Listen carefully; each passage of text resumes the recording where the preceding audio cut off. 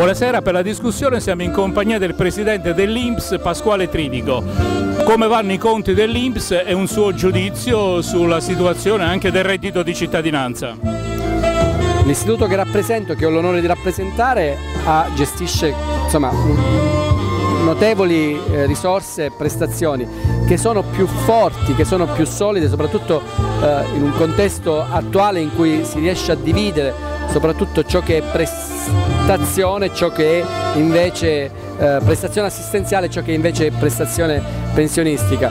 I conti dell'istituto dal punto di vista pensionistico sono, sono, sono solidi, eh, noi eh, gestiamo eh, contributi che un domani saranno pensioni, quello che è importante è garantire una ammontare sufficientemente alto di eh, lavoratori, eh, perché è la platea di lavoratori che garantisce le pensioni domani. Lei dice che ha detto prima durante la presentazione della discussione che il vero problema è la platea dei lavoratori per l'appunto. Esatto, il problema vero è in effetti questo. Lei pensa, noi siamo un paese grande quanto la Francia, abbiamo 23 milioni di lavoratori più o meno. La Francia è un paese con 60 milioni di abitanti o poco più e ha 33 milioni di lavoratori, sono 10 milioni in più. Ecco, certo ci sono lavoratori in nero da, nel nostro mercato, quindi 2 o 3 milioni, ma considerando anche questi non raggiungiamo quel livello francese. Ci mancano lavoratori, ci manca e, e abbiamo disoccupati e questo è un po' strano, cioè abbiamo, abbiamo, tante persone che possono essere riattivate.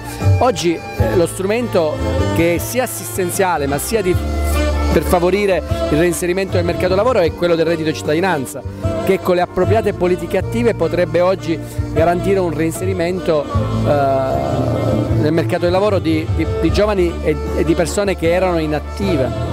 L'obiettivo è quindi quello di dare lavoro ai giovani, in particolar modo per sostenere anche il gettito pensionistico. Esattamente, l'obiettivo è eh, favorire un, un inserimento facile nel mercato del lavoro da parte di giovani, ma anche da parte di persone inattive che non sono più tanto giovani.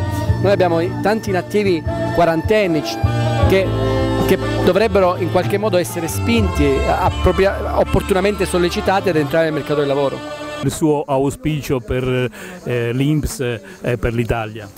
Guardi, l'Inps ha un ruolo importante, un ruolo di differenza sociale nel paese e purtroppo per fortuna questo ruolo diventa sempre più importante quando le cose nel paese vanno male, no? al contrario dell'economia privata che quando le cose vanno male le aziende arretrano in un certo senso, l'Inps quando le cose vanno male nel paese avanza perché c'è bisogno di più NASP, di più reddito di cittadinanza, di più cassa integrazione, ecco questo fa la differenza nel paese proprio per il sostegno che può dare alla società.